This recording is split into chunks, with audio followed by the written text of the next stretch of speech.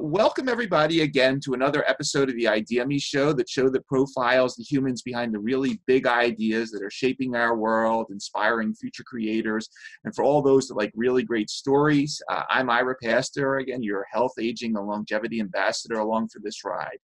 So, um, according to the U.S. National Survey on Drug Use and Health, uh, in 2017, an estimated 20 million American adults were battling some type of substance abuse disorder.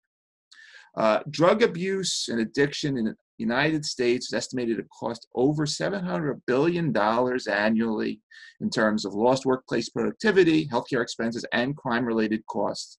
Globally, the numbers are further off the charts. More specifically, on a topic that we hear quite a lot about today, uh, in the area of opioids, you know, class of drugs that includes the illicit drug heroin, but also the illicit prescription painkillers, oxycodone, hydrocodone, codeine, fentanyl, and so forth. Of that 20 million, uh, it's estimated around 2 million have a substance abuse disorder involving prescription pain relievers, and over half a million have a substance use disorder involving heroin, with tens of thousands of overdose deaths per year. Uh, we're seeing an increase in infants born uh, opiate dependent, uh, as well as a spreading of infectious diseases, including HIV and hepatitis C in these populations. Uh, in 2019, uh, the most effective opiate withdrawal methods still involve substituting and tapering with opioid agonists, uh, such as methadone and buprenorphine. Uh, and the best outcomes are primarily seen with such treatments combined with the appropriate psychosocial interventions. Uh, but most thought leaders in the space, you know, are pretty much on the same page that we need much better agents uh, to impact the complex brain changes related to addiction, addictions of all sorts. And our pharmacotherapeutic armamentarium right now is, is rather small still in this area. So for today's guest, I could think of no one better to come on and talk with us for a while about this topic, take us into the future, than Dr. Deborah Mash. Uh, Dr. Mash is the professor of neurology and molecular and cellular pharmacology at the Leonard Miller School of Medicine and director of the Brain Endowment Bank at the University of Miami. Uh, as a neuroscientist, lecturer, and inventor, Dr. Mash has dedicated more than 25 years in a research career to unlocking the secrets of the human brain. Uh, she is nationally recognized as a leading researcher in neuroscience and brain disorders, playing pivotal roles, uh, publishing 300 plus published studies, investigating aging, neurodegeneration, neuropsychiatric disorders. Uh, and she works with a team of neuroscientists, pharmacologists, forensic toxicologists, clinical researchers to bring many basic discoveries from the bench to the patient's bedside. In the early 1990s, um, Dr. Mash was involved in uh, a US FDA IND that was truly unique for its time, uh, where she was granted this IND to permit her to do studies on an addiction stopping capabilities of a, a DEA Schedule 1 substance known as Ibogaine. Uh, and for those that may not be familiar with DEA scheduling, Schedule 1 drugs or substances are technically defined as those that at the time had no accepted medical use or a high potential of abuse, including substances like heroin, LSD, ecstasy, and so forth. Dr. Mash and her colleagues had previously uh, discovered through their extensive work in both the pharmacology and pharmacokinetics of ibogaine, uh, despite having you know, rather intense visionary effects, uh, that it actually serves as a really interesting prodrug uh, that, when metabolized, turns into a substance known as 12-hydroxyibogamine or noribogaine that had rather profound effects on binding to opiate and other sort of pleasure receptors in the brain, nicotinic, serotonin, NMDA, and so forth, to help block the withdrawal effects for very long periods of time and allow drug addicts to properly come down off these drugs and ultimately help to remodel and, in essence, normalize the brain's neurochemistry and neurobiology. Uh, in addition to her roles here, she serves as the CEO and founder of a company called DemeRx, which is a development stage biotech company that's looking to clinically develop and commercialize technologies around noribogaine for both addiction with withdrawal and other CNS indications. Uh, Dr. Mash is a member of the Society for Neuroscience, the College on Problems of Drug Dependence, the Research Society on Alcoholism, the American Academy of Neurology, the American Society for Pharmacology and Experimental Therapeutics, and the International Society of Brain Research. Uh, a lot of stuff here. So, with all that, Dr. Mash, thanks so much for for spending your time to come on the show today. Thank you for inviting me. No, it's a, it's a true Our pleasure having you here. So, you know, we typically start off this show by giving our guests the floor just to talk about you, um, your background, where you grew up, how you got interested in health, medicine, neuroscience, and ultimately uh, the path that that brings you in 2019 to really the epicenter of uh, addiction therapy, neuroscience, neuropharmacology. Uh, really want to hear all about it because it's a fascinating journey. Well, the journey has been a long one, as we both know, because you and I go back many years and have crossed paths more than one time, Absolutely. both of our professional careers. But um, neuroscience has always been my passion, and science has been my passion since I was a child. I was uh, one of those nerdy little girls who uh, participated in the science club, the math club, the rocket club, and uh, always had a, a, deep love of science. And um, my passion for brain science, for neuroscience, really goes back to my undergraduate days.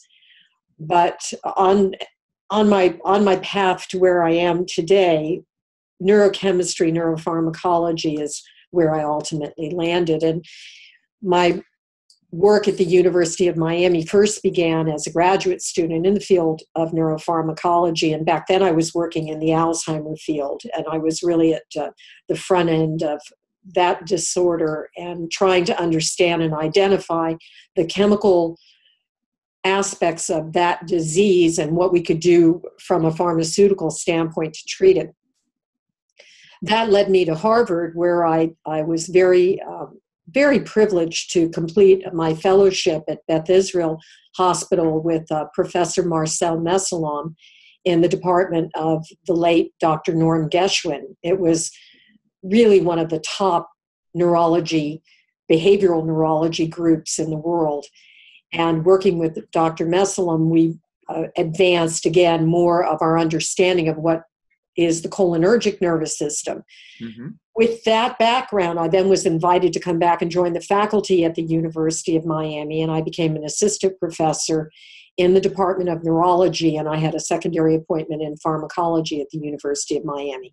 And there I began, and my career was off to a great start because I had funded my first NIH grants, and um, my laboratory was was on the up.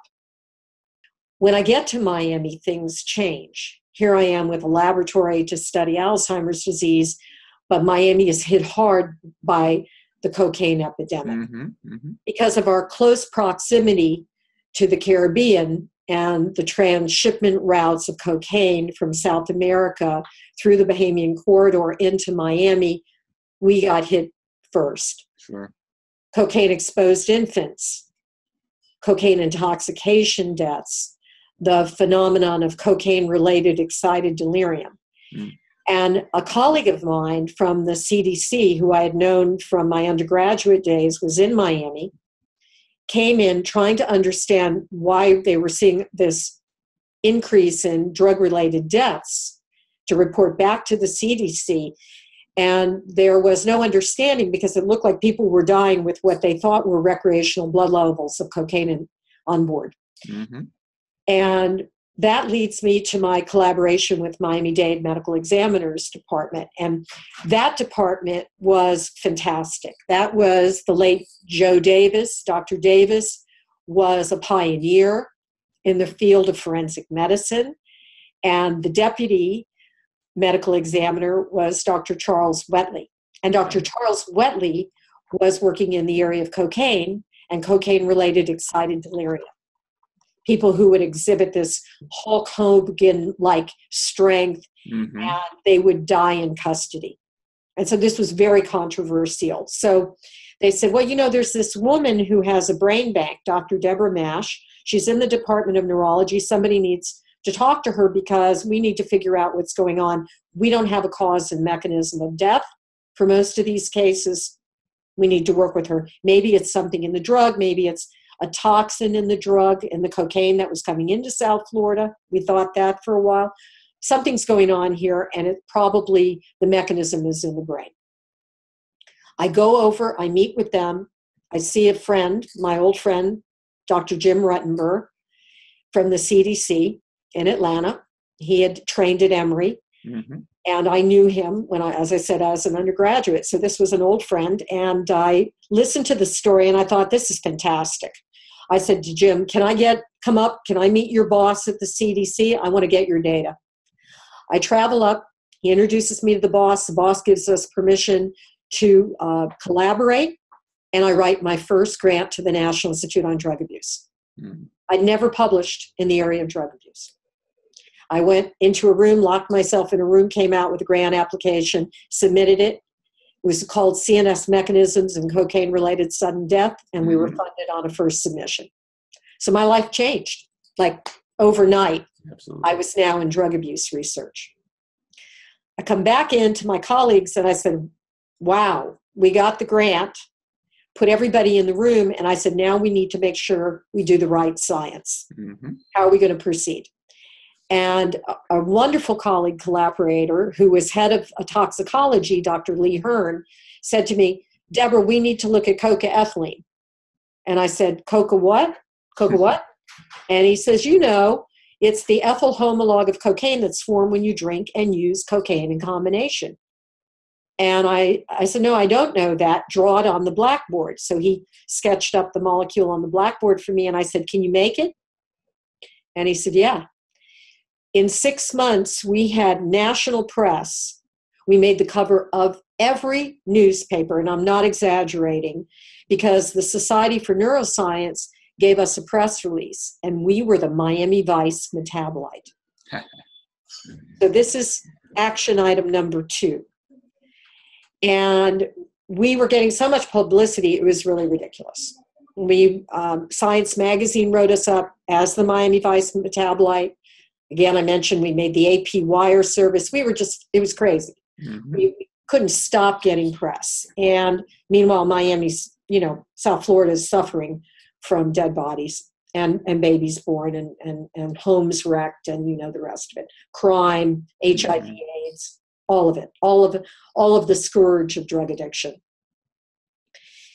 So here I am, um, getting all this publicity. We're very proud of ourselves, and I'm traveling around. And my the former um, president of the University of Miami, Tad Foote, a really remarkable human being, comes to me and he said, "Deborah, I want you to lecture to the Coalition of Drug Free America." You may remember sure. that movement. Yep and I, your president asks you to do that, you say, Yes, sir. Mm-hmm. So I go and I give a lecture. And at that lecture, I'm talking about coca ethylene. And at the end of my lecture, I'm mobbed by a whole group of people. But a black gentleman came up to me that day and said, Dr. Mash, have you heard about this drug from Africa that can be used to wean people off of cocaine and heroin? And I looked at him and I went, No, I've never heard of that and he's trying to really he's you know very excited about this and he wanted to explain it to me and he's explaining it to me and there's a whole crowd of people around me all trying to talk to me at the same time and there are reporters there and all this stuff and i i think i was you know probably very abrupt with this man um, because I, I didn't know what he was talking about. He's talking about some drug that comes from Africa and it's uh, used uh, spiritually in Africa, and the whole thing sounded just it was not what I wanted to hear on that day. It was, I, I just wasn't listening. And I, I said, no, I've never heard that. And I said, sir, thank you so much for telling me about this, but you, I have so many people here who want to talk to me. So thank you. You know, I appreciate it. And goodbye. First time I heard about Ibogaine. Second time I heard about Ibogaine, I went to the college on the problems of drug dependence. And I was giving a, I was invited to give a lecture on cocaine. So I get my lecture on cocaine. I'm pretty bored with cocaine now. Okay, we've been, you know, getting all this publicity media. I've been lecturing mm-hmm. on it, and it's like, you know, I'm more on to the next. What's next here? We got to come up with a solution. Okay, this is something we've described. It's more lethal. It's more sure. rewarding. People like the combination of coke and booze. Okay, I get it. How are we going to deal with this? What What's the solution here? What are we learning? I hadn't really played around with my program, so I didn't really know what was who was talking or what was going on at the meeting. So I said, I'm going to go sit in the back of this room. I'm going to look at my program. I'll listen to whatever's going on in this session. It was, I think, a cocaine session, and uh, I'll relax. And there was a man there by the name of Stanley Glick, Professor Glick from Albany, who had these rats, these little rats who self administer drugs. And he was giving these rats this drug from Africa. Mhm. Now I've heard it twice. And the rats would stop taking cocaine and heroin. And I, I looked at the screen, I'm watching this, I put my program down and I went, that's the same drug that that other man was talking to me about. Now I've heard it twice. I come back from that meeting and I had an old answering machine and I play back my answering machine and there was a, a call to me from a man by the name of Howard Lotsof. Mhm. And Howard Lotsof was calling me because he wanted to take our information on cocaethylene to support a poly drug dependency patent that I that he was filing for this drug from Africa called ibogaine. And at that point, I was, what is this drug? How does it work? What's the mechanism of action? Mhm. What do you know about it? I need to hear about this. This is you? And he said, Yes, I have four patents filed one for opioid, and opioid addiction, psychostimulants, alcohol, nicotine, and now I'm filing polydrug. I said, Okay. um, what can you tell me? And he said, I will come down to Miami and I will bring my data. I said, please do so. Come down. I want to hear about this. He comes down to Miami with his wife, Norma Alexander. He brings me a box of papers, kind of junky papers, newspaper articles, clippings, anecdotal information about the drug. Sure. I look at it, it's not data. You know, anecdote is not the plural of data. Right. Um, he had a lot of anecdotes, but he had two things that I wanted.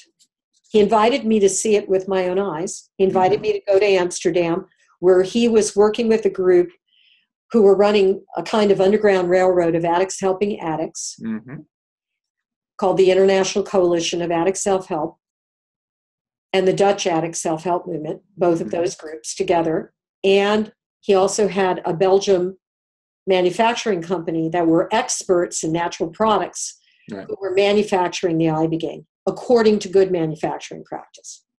Something you would need if you were going to test this in an academic medical center. Sure. So I, I'm a pharmacologist. I need an MD. So I go to my colleague, Dr. Juan Sanchez Ramos, an MD PhD in the Department of Neurology, and I said, Juan, will you get on an airplane with me? I'll buy the tickets. Let's go to Amsterdam. Let's see this. I go to Amsterdam. I see three men go through the treatment.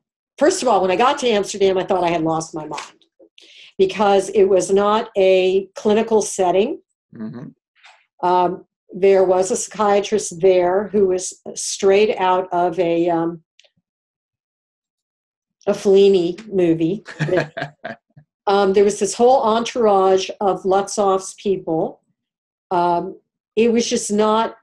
It was not what. It was not academic. It was not scientific. It was not clinical. It was something from a movie. Mhm. And but I'm there, and there was a group of reporters there too at the time, and other people. It was a whole group of people, and I met the young men who were going to go through the treatment, and there were three young men, and I will go to my grave with this with this experience because there was a young man, Mark, who had was on 100 milligrams of methadone.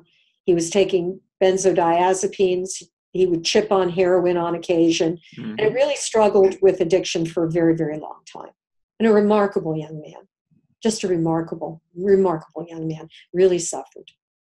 Another young man who was young, a musician, a Puerto Rican musician, very talented, spectacular, also had a horrible heroin addiction. And the third young man was the son of an Orthodox rabbi from New York Mm. who had struggled with cocaine addiction Okay. and had severe attention deficit disorder and was self medicating with cocaine as a psychostimulant. All right. So these three men are in three separate rooms. They give them the Ibogaine. There's no crash carts. There's no cardiac monitors. There's no ID lines. There's nothing. But I sat at the bed and I stayed up all night long at the bed of these three men and I went from room to room. Everybody else went to sleep, but I was there. There were no nurses either. So I helped these men. I gave them water, whatever I could do, you know, be present for them while mm-hmm. going through this. And but I had an idea. And I said to Boaz Wachtel, a young man, an Israeli who was part of the uh, Lotsof entourage, I said, Boaz, these young men will give me urine samples. Go get me dry ice, styrofoam container, and urine cups. And he did. And I collected urine. And I sat up with these young men and I watched these young men transform. No withdrawals, get up out of the bed the next day, eat a full meal, go shower, shave, clean up, and sit down across the table and tell me what was going to be different in their life and tell me how good they felt. And I stayed with them for the next few days. So I got to watch their transformation. And I said, What is this? What is this? There has to be an explanation. And I have to go home and I have to tell others what I just saw. Mm-hmm. So I did. I gave, but the first thing was I had to get that box of urine on the plane. Always carry cash. I went to the airport in Amsterdam. I got my box of dry ice on the on the flight. Got to Miami. I got it off the plane, and I drove in my car to my colleague, Dr. Lee Hearn, who worked with me on the metabolite coke-ethylene. I handed him the box of urine. I said, Lee, get this on the gas chromatograph mass spec. Show me the metabolite of ibogaine. And that was the discovery of noribogaine. Fascinating, fascinating journey. Especially, I, I would, I would love to see what you said when you had the dry ice with the urine in it and getting on the plane. But uh, that must have been. It, it, it's clear, clearly a, fascinating um, a set of discoveries. Let's put it that way. Until that point. Now, if you, if you will, take us from there. Uh, you know, obviously, you know, you spoke about um, obviously this long. You know, this wasn't something that you know accidentally, like Albert Hofmann and LSD, boom, it, it, it appeared in the lab. You have a long sort of ethnomedicinal, phytochemical, phytomedicinal use in West Africa, Gabon, Cameroon, Congo, and so forth, used for religious ceremonies, various spiritual uh, undertakings, and what have you. Um, we get the, the, substance and the metabolite back to the United States. You know, you're a pharmacologist, pharmacology, pharmacokinetics, and so forth. Um, take us now to that point where, okay, um, there's a, you've studied these amazing properties. I want to talk a little bit more about that from what you found in the lab. But now you're going into this um, uh, this gauntlet, let's say, of FDA and DEA, where on one hand you have an amazing potential clinical set of clinical trials to run in the early 1990s on the substance, uh, but it's still a Scheduled One substance, and DEA wants to smack you down at every particular point, and from even getting in, you know, playing with this stuff. Take us a little bit through that journey because that's really an, another fascinating part of the progression of this story. I think. First of all, all right. So I get the you know the the great idea that one I immediately had to tell my colleagues at the National Institute on Drug Abuse because they were my boss. I, am I'm, I'm reporting to not to the NIH NIDA I'm an NIH funded investigator. Mm-hmm, mm-hmm. So, you know, universities are kind of like medieval stalls, you know, they don't support the research. They give you a place where you can sell your wares and you have to sell your wares to the funding agencies and the NIH. I always told my staff in my laboratory, our boss, I mean, yes, the University of Miami is my boss, I have a chairman, et cetera, but really our boss is the NIH. Mm-hmm, so mm-hmm. I have a, a duty to report back to, to my boss, which is the NIH. So I did that. And the NIH and NIDA, and, and keep in mind, I was an unknown at NIDA at the time because I was a brand new investigator for them. Mm-hmm. You know, I wasn't an established NIDA investigator. Here's this woman from Miami. She's got, you know, she has a flash in the pan with coca ethylene. And probably a lot of people in the in and my colleagues and peers were like, who is this woman? Right? And now she wants to test Ibogaine. Oh, oh good. That oh great, you know. And and my personality is such that if I want to do something, I will do it. Uh, it's just how I roll. You know, it's my, I don't know why I'm like this, but I get that from you, yes. so I'm going to do this, right? So I go, I go first, and I also go, I had a wonderful, I was very, very fortunate at the time too, because I had a fantastic dean of research. My dean of research at the University of Miami was uh, a man by the name of Dr. Bob Rubin. And you could not have asked for a better research dean than this man. This man loved science as much as all of us. Uh, he had his own laboratory. He was brilliant. He is brilliant. And he just supported his faculty. He wanted his faculty. So when I, and I had a good track record because I was getting funding. So I went to Dr. Rubin, I explained all of this to him, and I said, I understand if we're going to do a clinical trial at the University of Miami, you know, this is a Schedule One drug. It is untested. It'll be a new clinical trial. So Dr. Rubin said, no, it's okay. We'll, we'll do it. We'll go behind you, Deborah. So he paved the way for me with the university, and the mm-hmm. university was excellent. Um, I went up in front of the insurance carriers. We presented. He gave me resources. He gave me people to help me with drafting of the protocols for the FDA and whatnot. Resources were put in put on my on the table for me, mm-hmm. for us, our group of collaborators at the medical school. So that was number one. If with, without the university behind us, we wouldn't be able to do it. I went up to the NIH. I had been invited to NIDA by um, Dr. Charles Grudzinskas and Frank Vocci, who were heading up the medication development division at NIDA, mm-hmm. to give a talk on coca ethylene. By now, I'm totally burned out on coca ethylene. Plus, I've seen Ibogaine do this remarkable transformation.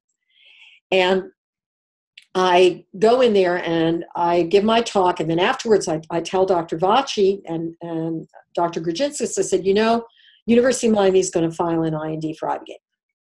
I don't know this to be true, but I I pretty much believe that when I turned around to leave, that the two of them cracked up laughing. That they laughed at me and said, This woman, forget about it. She's never going to get that done. I'm certain, I'm fairly certain that this is true. um, in fact, I should ask Frank Vocci if he was laughing that day. He'd probably tell me the truth.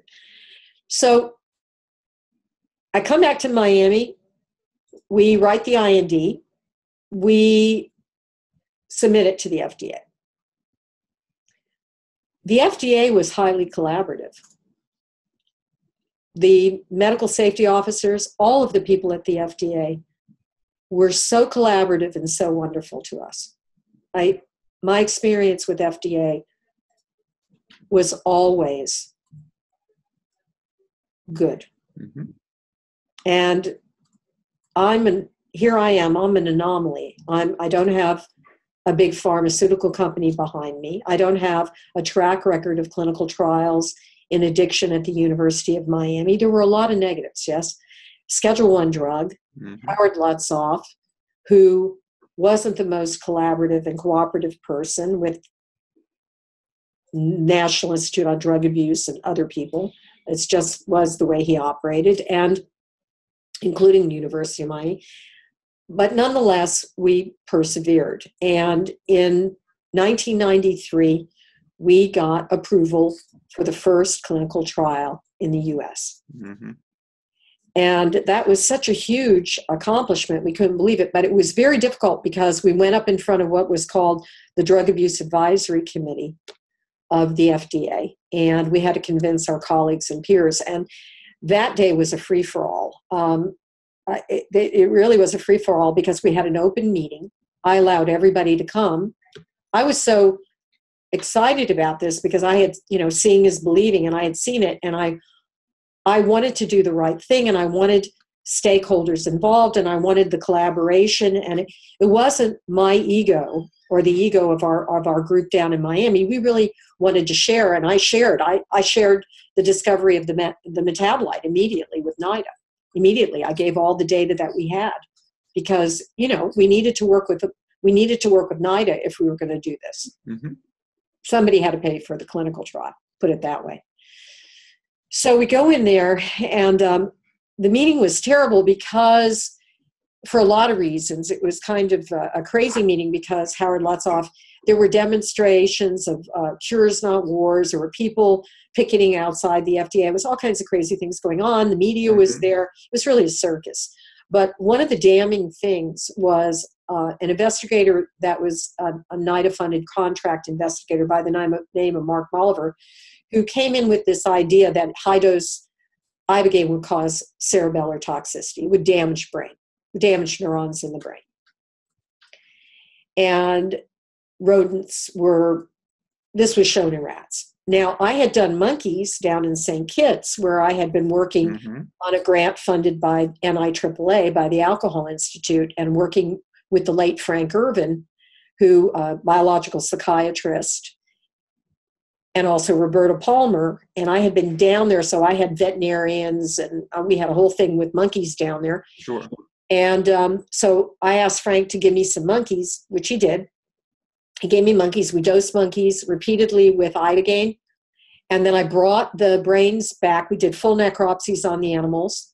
And I brought the brains back to Miami and I gave them to neuropathologists because I had the brain bank. So I had working with wonderful neuropathologists by the name of Dr. Michael Norenberg and his collaborators in, in that division. Mm-hmm. And I said, Michael, will you help me? Michael had helped me for many years on many different things. And I said, Michael, will you help me? Will you look at these monkeys? And by the way, he was an expert on on uh, cerebellar damage because he had Mhm. been studying hepatic encephalopathy. So the guy really was an expert. And I said, look at these brains, and you tell me if there are any dead neurons in these monkeys, because I need to tell the FDA and NIDA. We, I need to report this. We need to know. We don't want to hurt anybody. Yes. So I knew it didn't do anything in monkeys.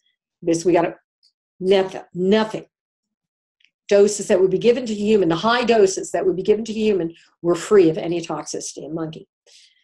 So, and humans, Dr. I worked in a neurology department, and Juan Sanchez Ramos, Mhm. who was an, a, a phenomenal, he is a phenomenal neurologist in what? Movement disorders. We were doing posturography, very sophisticated testing of motor and cerebellar function. So we had I- ibogaine patients, patients who took high doses of ibogaine for detox, and we had all this neurological safety. Right. So we felt good about this, and we presented that to, to NIDA and the FDA, and everybody, you know, got to see these data. So I was pretty confident about that. And um, but the meeting wasn't going well because when you raise a neurotoxic flag, uh oh, you know, it's a big uh So I looked around the room. I'd really had enough of it, and I said, I don't even know how. To be honest, I don't even know how I knew to do this, but I said, meeting closed. Everybody out. The Drug Abuse Advisory Committee, Lotsof and his group out, University of Miami in, and I looked around the room and I said, that regulatory attorney who's with Howard Lotsof, he can stay in and listen. Everybody else out. And we went into closed door. And we stayed there for hours, hours and hours. I think everybody was burned out, including my colleagues from UM. And finally, there was a kind of um, a motion made by one of the women uh, an RN, I believe, an RN who may have been in recovery. I, I don't remember all the details at the time, but a really um, a compassionate, clever lady who sort of made a motion. And at the time, I was an elected official in municipal government, so I knew something about parliamentary procedure. I grabbed the microphone, said to the chairman of the DAC, Mr. Chairman, you have a motion on the floor. Let me restate the motion. The motion is to allow us to go forward in ibogaine veterans. We got a second, and that meeting gave us the open door. Mm.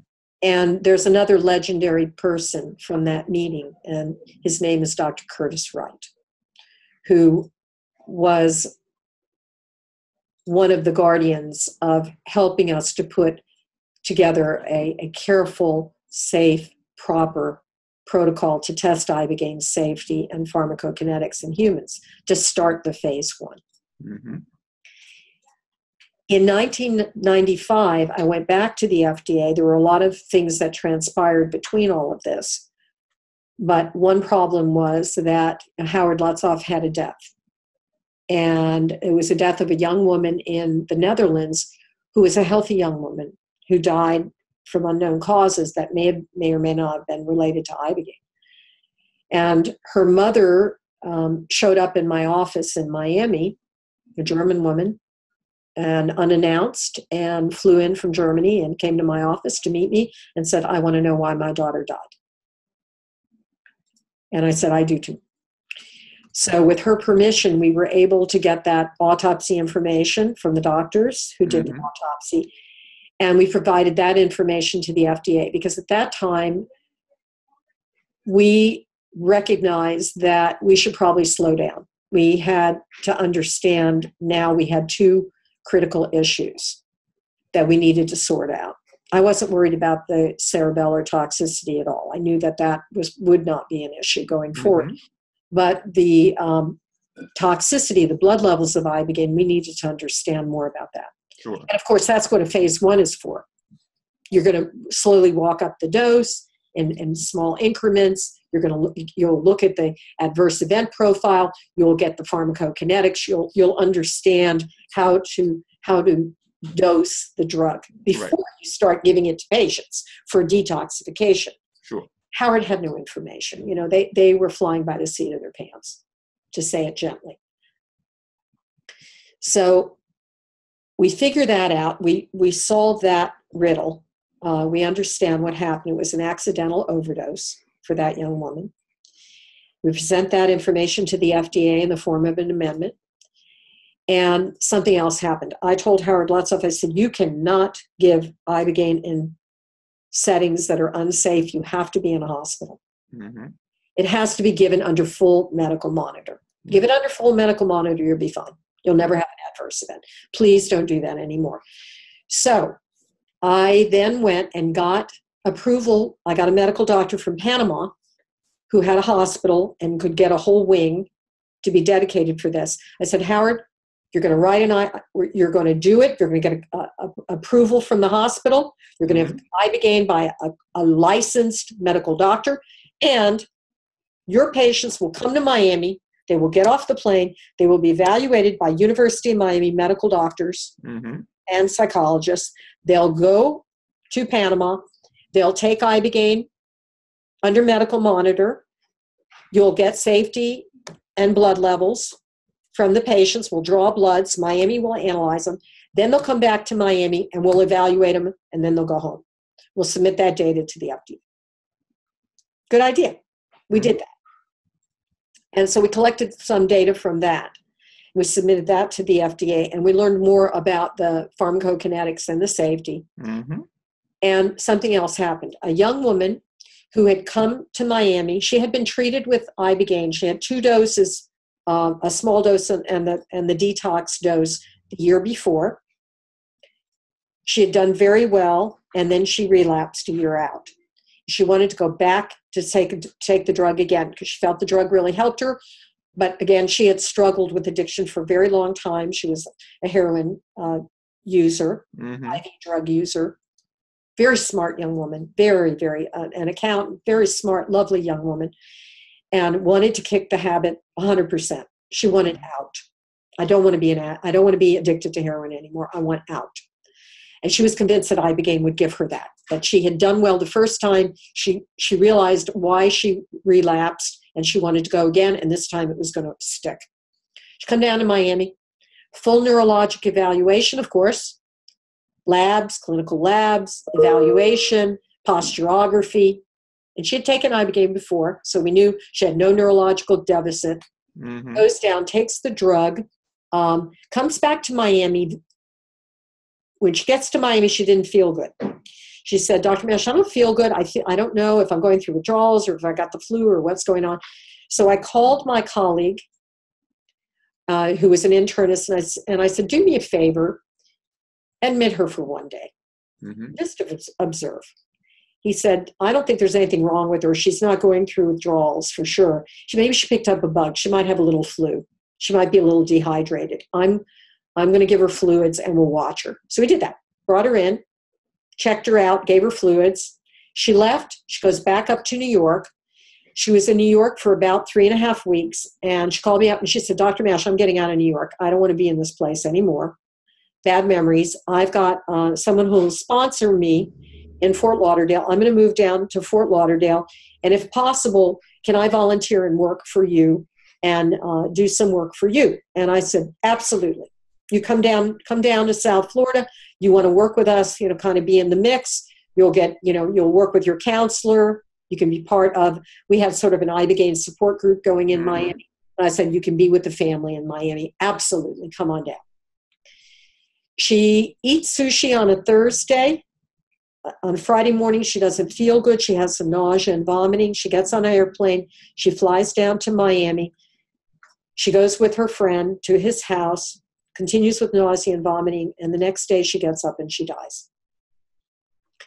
She was a Broward County medical examiner. I get the phone call that she had passed away. I immediately called the medical examiner's office. I said, This woman has taken an experimental drug. I have a full chart on her. We have all of her medical records and notes. May I come down and be present at the autopsy? And they knew me because remember, I had been working with the medical examiners mm-hmm. in Dana Broward County. So I had grant from NIDA and I was, you know, doing my other grants. Sure. So they knew me and they knew me with the brain bank and everything else. And I said, also, if I have your permission, may I take the brain and may we at the University of Miami do the neuropathology on the brain? Because very important. She's taken four doses of Ibogaine. If there's any cerebellar toxicity or toxicity of the brain, we would like to know this so we could tell the FDA. Sure. They said, Deborah, come on down. So I was present at the autopsy. It was quite a day. Imagine. Quite a day. I knew Nancy. I had met with her. She had done her MRI in Miami. And I, I can remember sitting out there on the bench in front of the MRI center and I asked, I, we had a conversation about donating your brain. I said, you know, you're pioneers, you're like astronauts. Oh, you're ibogonauts. You're going up in the spaceship. God forbid, if anything ever happens to you, you need to donate your brain mm-hmm. to medical research. And of course, I told a lot of people to donate their brain because I'm the founder, of past I am the founder and past director of the University of Miami Brain Endowment Bank, one of the largest collections of human brains. Mm-hmm. That day, everything I knew about brains was important. Sure. As I brought her brain back to the University of Miami and we processed it, Nancy's brain was clean. There was no pathology. Nancy died from causes unrelated to Ibogaine. We presented all of that to the FDA. Mm-hmm. And we went back into the meeting with the FDA with a revised protocol. And in 1995, the FDA gave us the full green light to go forward with an external data safety monitoring committee. Uh, it was fantastic. I mean, it was the best news of the day. And I, I was so proud of what we had done. Absolutely. You know, it was really, um, it was a great day. I had NIDA in the room with me. I invited my colleagues. I had Dr. Grudzinskas sitting right next to me. Dr. Vocci was on the review panel, so he was sitting at the table. And when we finished that meeting, Dr. Sanchez Ramos was with me. We were there, the UM people. When we finished the meeting, I leaned over to Dr. Grudzinskas and I said, okay, FDA just gave us the full green light. Will NIDA fund the study? And it, they had come down and visited us and we thought we might have a contract. Back then nida gave contracts in the medication development division. Mm-hmm. and they told me to write a grant no contract. So i came home and i do did what i do which is to write a grant. Mm-hmm. and i submitted the grant. And the grant was not scored uh, and that was a big surprise to me because we had so we had fantastic collaborators. Absolutely. Yes. Not only did we have our collaborators at UM that were terrific, but we had UCSF. We had the best pharmacokineticists in the entire country. Number one. We had Rachel Tyndale for the genotyping to work out all the, the pharmacokinetics and the metabolism. Mm-hmm. She was in the front end at the University of Toronto looking at the cytochromes and characterizing cytochromes. Mm-hmm. And I can remember that woman talking to me, very brilliant. She's one of the smartest women I've ever met in my life. And she looked at the molecule and she goes, Deborah, this is CYP2D6. She knew immediately what enzyme was involved. She was right, and we were going to prove it. So we did that. Um, so I had all these people, collaborators, and then we had people from uh, the armed services, uh, uniformed armed services uh, group that were going to help us with the uh, with the neuropsychology. We had counselors, therapists. Oh my goodness, we had we were dressed up for the party. We had everybody on board. But the thing that was so tragic here was, you know, when you write a grant, you, your grant may not be perfect. Right. They never are. In fact, very rarely you get funded on first submission. However, you get scored and then you revise it, right? You you get a you get your feedback from the review panel. In this case, the, the feedback was don't darken our doorstep with this grant. No. Not for what's called nerfed, not for further consideration. And keep in mind that I've had funding from the NIH for over three decades. Mm-hmm. I'm still collaborating on NIH grants today as I sit here talking to you. So it's not my first rodeo, and I did have some experience with it, and I served on review panels. So I understood, you know, I understood the process of peer review. So this was a clear message that um, they didn't want to see this. Right. You know, I had, and the message loud and clear. So NIDA decided that they were going to do their own ibogaine IND. And they put together a panel, uh, external advisors and whatnot, and we participated in Miami on that. I didn't really know the full extent of this, obviously, because I wasn't uh, in the in the you know in the bunker from NIDA's uh, group to understand what was going on there. All I knew is I, we had approval to go forward, and we had no funding. Right. But I'm a collaborator. Sure. I'm a team player, and you know, and and in my heart, I wanted I wanted it to be tested. Right. I believed then, as I do today, that given the magnitude of the problem of addiction in our society, that we in the scientific community need to leave no stone unturned. Absolutely. And I saw this work. They know it works. They've seen it. They have the animal data there was, as you pointed out, more than 100 years of ethnobotany, ethnopharmacology around this molecule. Mm-hmm. It was marketed under the trade name of Lambarène in France for many years in mm-hmm. low doses. We knew when you take a low dose of ibogaine that really you're being exposed to noribogaine. Right. Because there's a huge first pass metabolism. So all those people walking around with low dose ibogaine in their blood had done the experiment with noribogaine. Right. If there had been adverse events, it would have been out off the market. Yes. Absolutely. All right. So now we have no money. And Howard Lotsof had the IP. We had no IP. Howard Lotsof had, had the IP. I couldn't do this in the public sector with NIH funding. Mm-hmm. There was no real foundation support except for MAPS, the Multidisciplinary Association of Psychedelic Studies. Right. When Rick Doblin called me the first time, I hung up on him. He'll tell you that. I, I was like, what? Rick Doblin MAPS? No, no, don't don't call me. I'm not. I'm no. We're we're legitimate legitimate scientists. Rick Doblin has MD. He's more legitimate. He has MDMA, methylene dioxymethamphetamine, or as we call it, ecstasy, all the way up to phase three clinical trials. Right. The man is a force of nature. I have terrific respect for him. Um, but at the time, you know, I was, I was, you know, you're right. The DEA, we had a DEA Schedule One license. We took this all very, very seriously. And Ibogaine has no abuse liability, unlike the others in the Schedule One category. Mm-hmm. Nobody's abusing Ibogaine. Right. So we tried to do everything by the book, and but we had no money.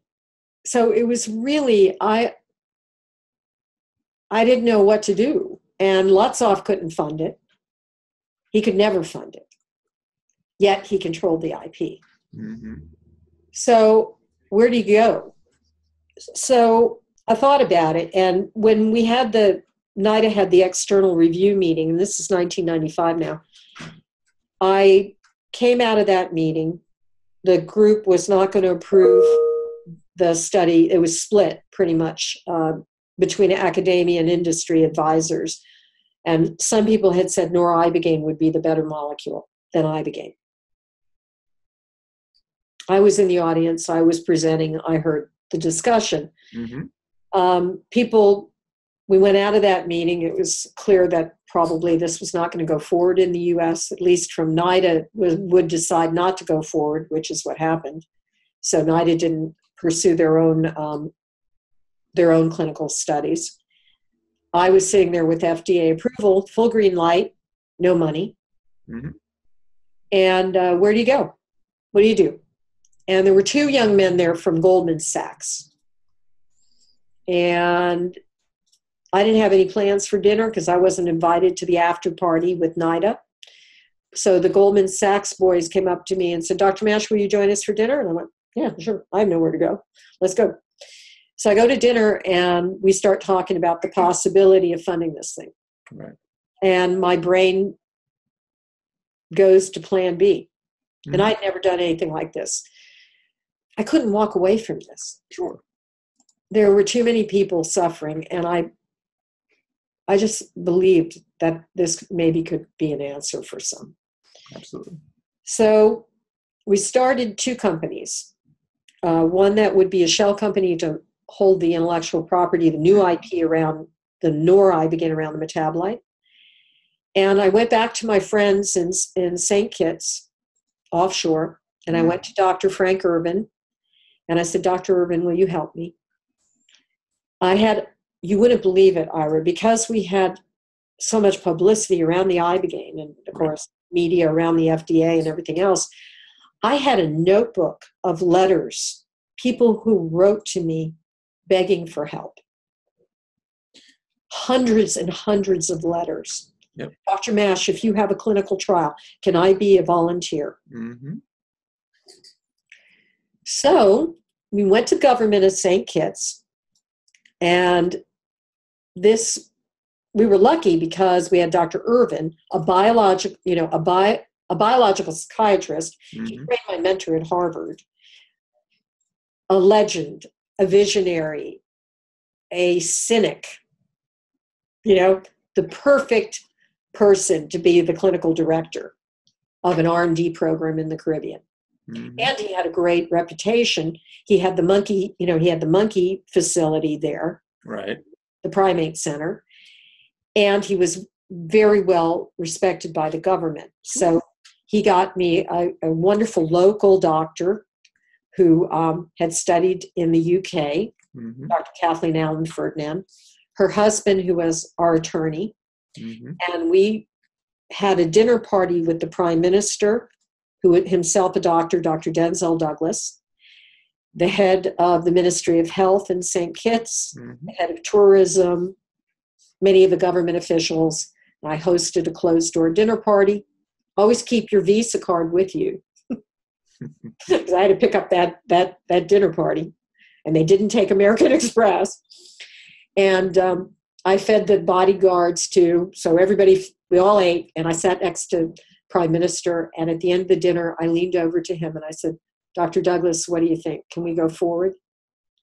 And he looked at me and he smiled and he said deborah it will be done. So government approved us. Excellent.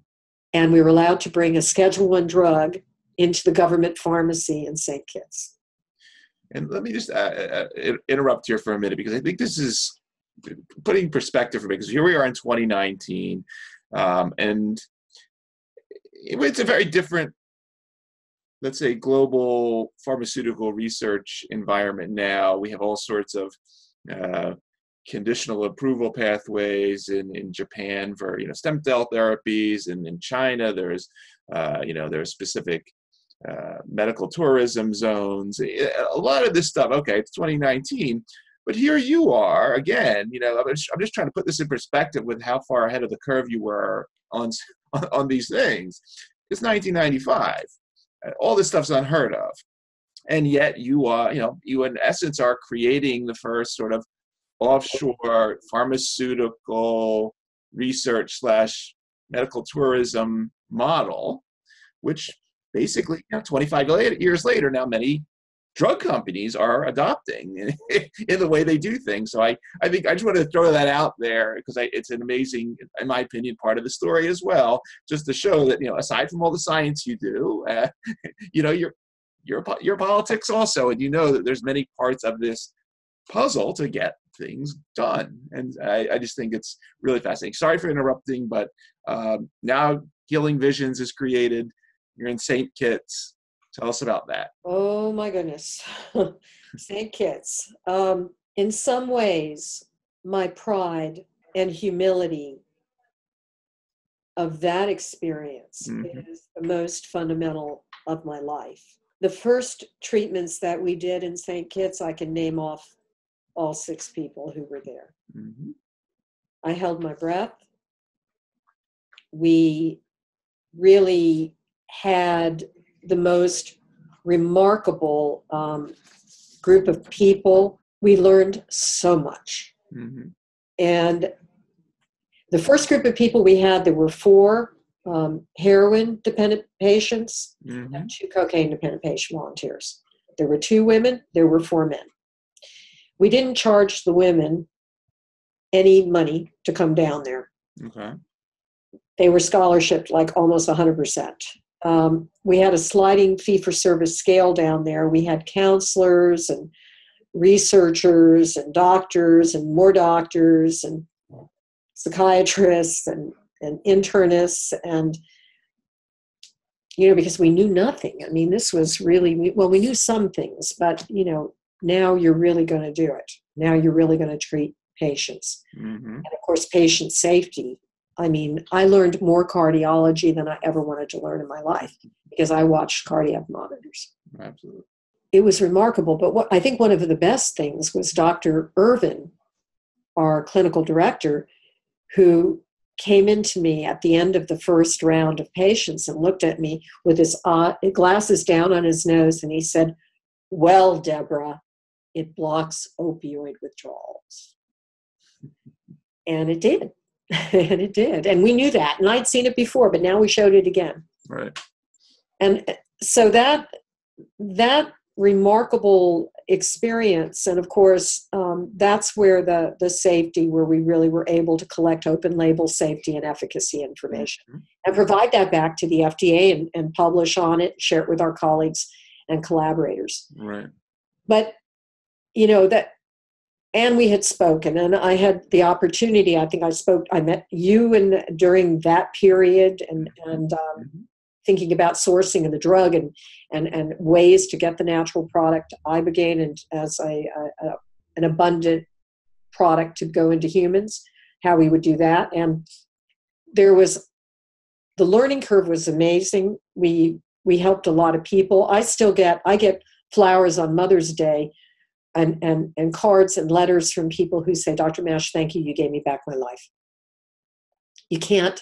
That's what it's all about. That's what it's all about. And you and you can't even begin to know how that inspires me today.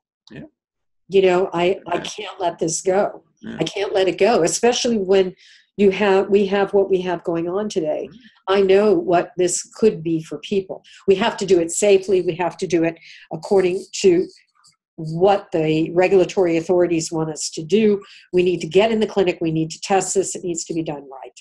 Absolutely. and what we learned from st kitts to just kind of wrap it all up mm-hmm. is that ibogaine is a very powerful and gentle detox. Not only does it block signs, symptoms of withdrawal, but it gets converted to the active metabolite noribogaine, which has a longer half life in the blood.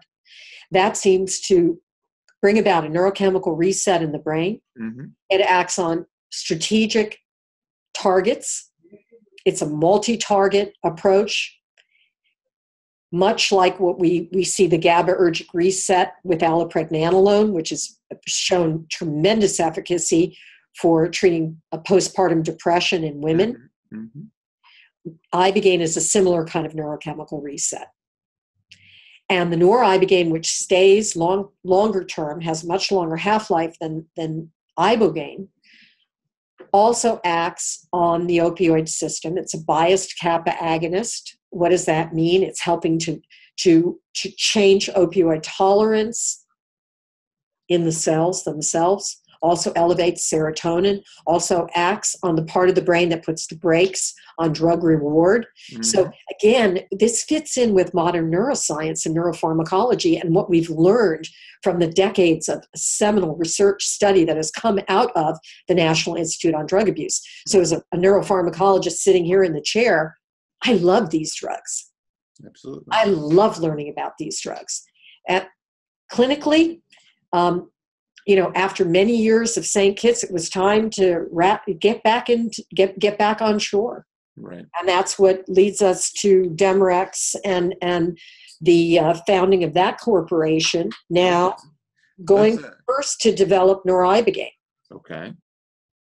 Take us through all of that because you know, aside from your scientist hat, aside from your clinician hat, now you I know you as a an extremely accomplished uh, hard charging businesswoman as well. So now take us into your transition into the world of Biotech 101, US side, and your experiences, successes, hurdles, um, and, and where you're going with it. Because I know, aside, as you just mentioned, aside from this major problem we have nowadays billions and billions of dollars of opiate addiction and other substance abuse you also as you mentioned you're potentially sitting on a pharmacological reset uh, opportunity for many central nervous system disorders, whether that's depression or uh, other comorbidities. Take us through all that because uh, you know you're really leading the path again into the future on this front. Where are you going with it? Tell us the future. So I, I had um, when I decided that enough of uh, St. Kitts and we needed to bring this home to Americans. Mm-hmm. I started to put together, as you said, biotech startup 101. Mm-hmm. And really, I was unskilled, completely unskilled in all of that. Um, however, I did have a meeting with Novartis and I did have discussion with Sanofi. And that at that time, they were working on the cannabinoid receptor antagonist. And mm. remember, they were developing it for obesity, and they had in the back of their mind they were going to go after addiction with this molecule. But unfortunately, it had the little problem of a black box warning and suicidality Ooh. when you antagonize um, the cannabinoid receptors. So at the time, there was a lot of um, disinterest in CNS pharmacology starting to emerge. And blockbuster drugs were being developed along vaccines, Viagra, diabetes. Mm. You know, mm-hmm. the blockbuster drugs were not in the brain. Right. So Novartis, who I met with, and I met with their head of licensing. I went over to um, Zurich. Right. He met me, came over from Basel, came on the train, sat with me for half a day, talked to me, Dr. Javier Lataste and said, I'm going to bring this back in, but I want you to go in front of the FDA. I want you to have a pre IND meeting. So I did that. I set up a pre IND meeting with the FDA for noribogaine. And again, the FDA, here's this academic investigator coming in with a new chemical entity now.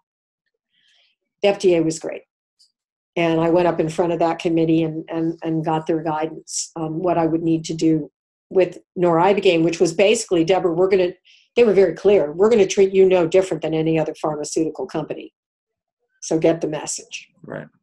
All right. So we got that message, and now I need to I need to launch. And um, I was rescued by a group called Springboard. Springboard launches women entrepreneurs, mm-hmm. and a, a, a woman from Africa had sent me an email um, who knew me, and she was running a um, drug manufacturing unit out of Ghana. And she said, Deborah, you need to contact this group, Springboard. So I did. I sent my information into Springboard. And Springboard, the way they act, it's very fast. They said, um, give me, you know, they you send up a synopsis, they look at it, they they ask for your business plan. You better get it there in a couple days. I sent, submitted the business plan, and then they said, "All right, we want, want to meet with you in New York." So I got on a plane. I flew up, and I was selected. Our company was selected as for the boot camp, and they launched me. And then I was, you know, developing my elevator pitch and and and really learning how to do this and talk to investors. And that was a great experience. Actually, that made me a better grant writer. If you can sell your ideas in one page mm. and raise money, you can write a better NIH grant. And so that that really helped me scientifically back in my academic game.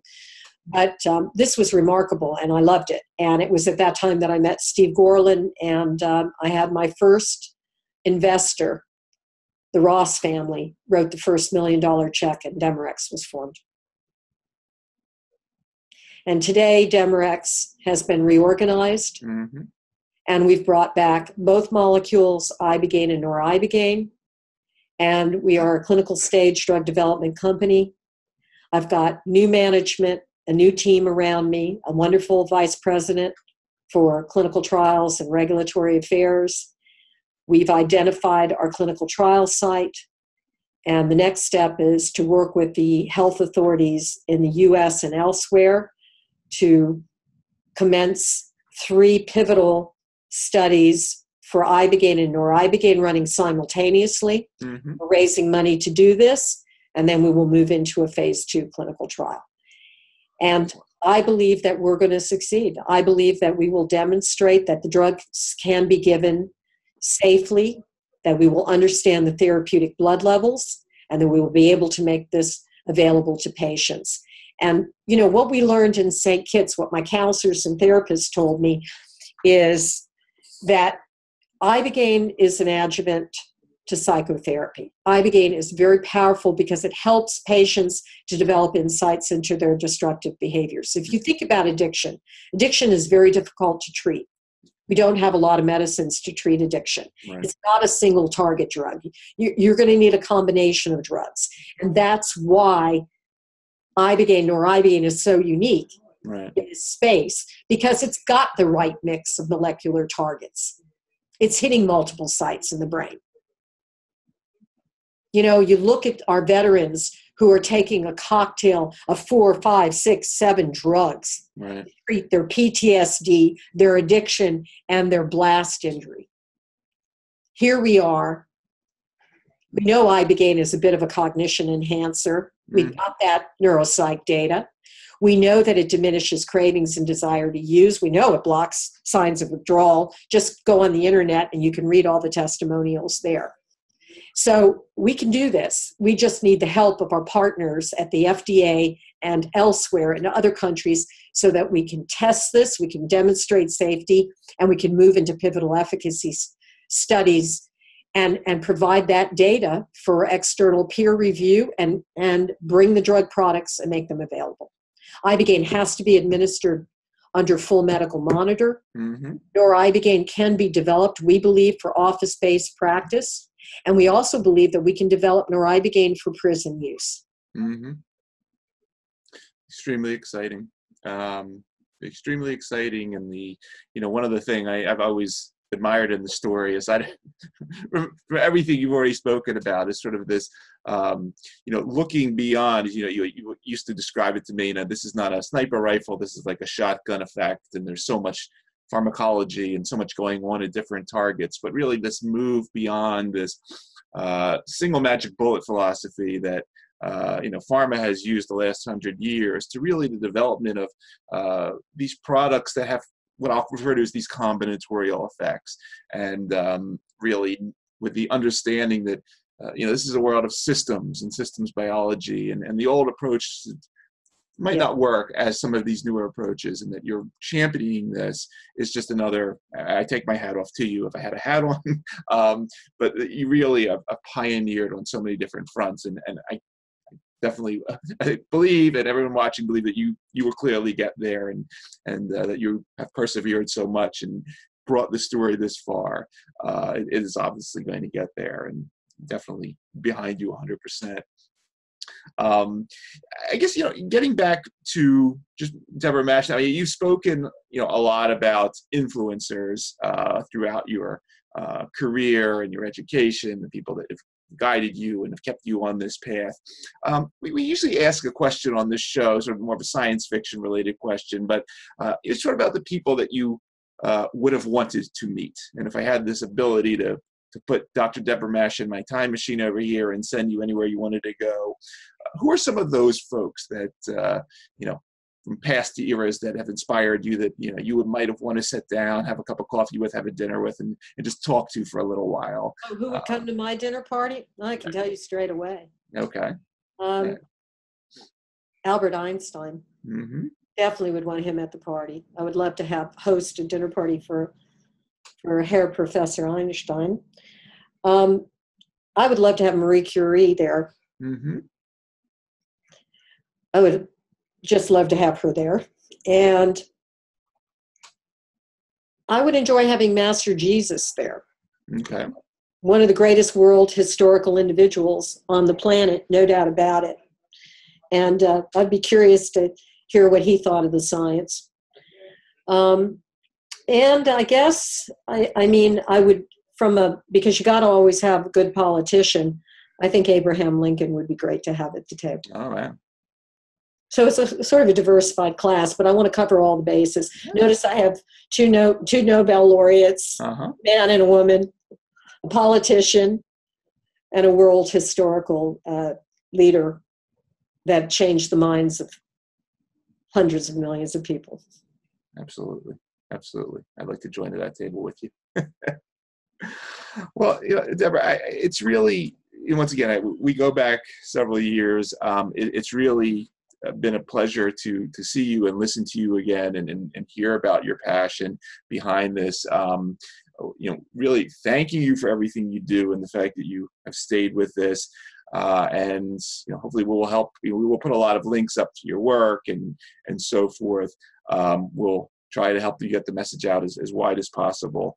Uh, but clearly, you are uh, you're on the right path as I've always thought you are, um, and you know, wishing you the best. And, and once again, for everybody listening, um, it's been Dr. Deborah Mash, professor of neurology, molecular and cellular pharmacology at University of Miami, and also the founder and chief executive officer at DemeRx, uh, really doing amazing things. And if there's anyone that's going to break through with this massive drug addiction, this opiate problem, this other illicit and illicit drug problem we have in the world today. And as we've discussed, you know, this is a, a much wider sort of psychological problem with the world that we're sitting in today. It's it's going to be uh, Dr. Deborah Mash. So you know, once again, just thank you, thank you so much for staying this path. And uh, anything you want, any other messages you want to wrap up with, I'm, I'm giving you the floor. Um, once again, thank you for joining us. No, I'm just very grateful. Thank you, Ira, for your um, interest in this story and topic. It's been a long journey for me, but uh, I want to finish what I've started, and uh,